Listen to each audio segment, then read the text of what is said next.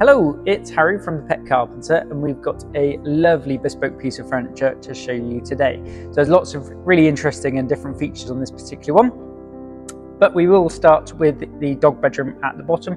As you can see, a really nice size space for a small to medium sized dog, um, which has the lovely sliding smooth action door there, latches securely on this end, and then opens up for a nice big space for the dog to come in and out as they please. One particularly really nice feature of this one is the um, feeding station towards the end of the unit, and that's accessed by a drawer to this side here.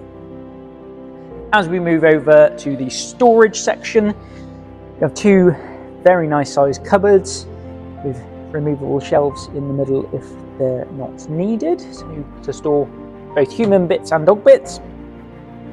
And moving to the top of this particular unit, as you can see, we've got these five really nice sized storage drawers, all in this really nice smooth sliding action opening and close for those drawers. This particular section in the middle is for a media unit, so you can access uh, your cables at the back through the hole in the back.